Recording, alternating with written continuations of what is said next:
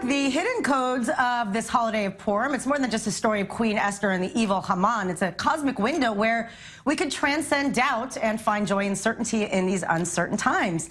Just by waking up our brain. Joining us live via Skype is Kabbalah teacher and Dahn healer and my girl, Sarah Ozer Yardeni. Hello. Happy Purim. Happy Purim, Emily. How are you? You look so pretty. You look like Queen Esther. You're so sweet. All right, so let's talk about like the interesting hidden message behind Queen Esther and uh, the Scroll of Esther, known as the Megillat Esther.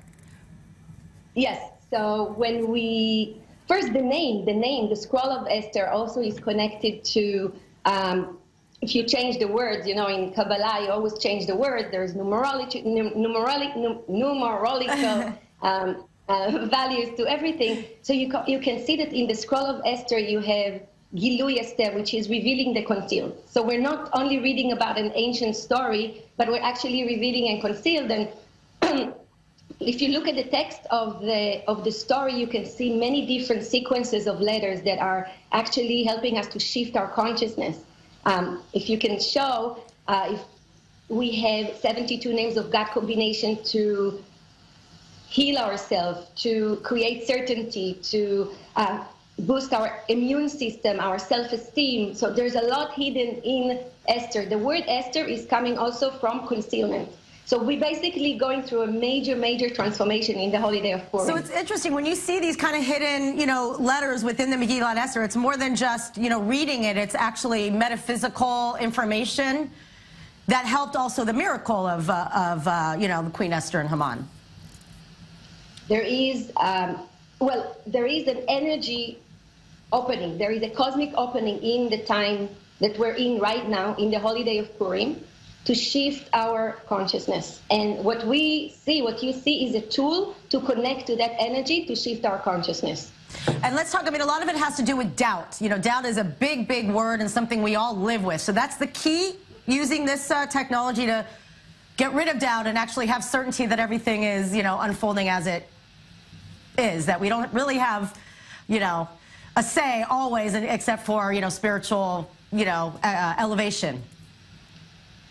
well, uh, the gift of this holiday is the removal of doubt and the transition from a state of doubt to certainty. And certainty is that you know that everything, everything and every a moment and everybody is actually part of a divine plan. It's everything is designed.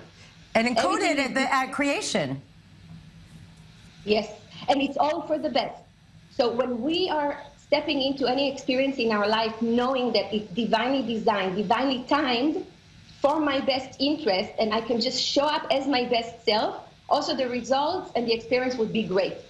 But if we're doubting it, life could be pretty miserable, actually. Now, it's so interesting. So it's so interesting because you're also, you know, you, you're a Dahn master healer and you've taken in so many different modalities, East and West, and, you know, you've studied so much about the brain. So why is the brain, you know, so kind of essential in changing, you know, the rest of our, you know, body, spiritual, emotional, and whatnot?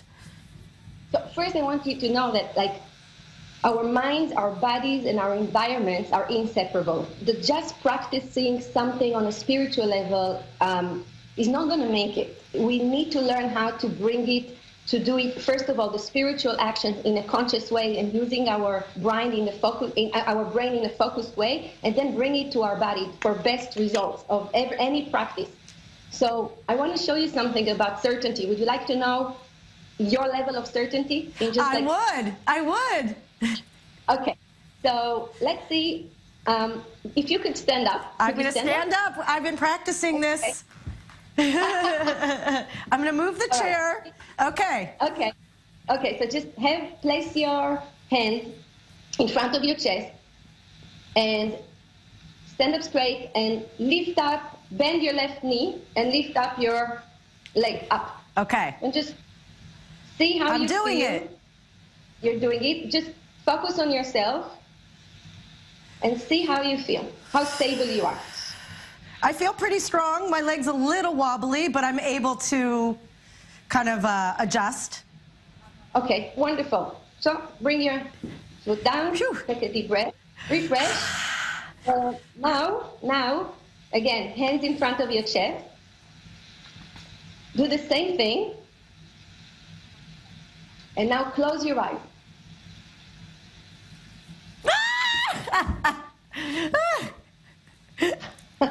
Okay, so Okay. what's the point of this?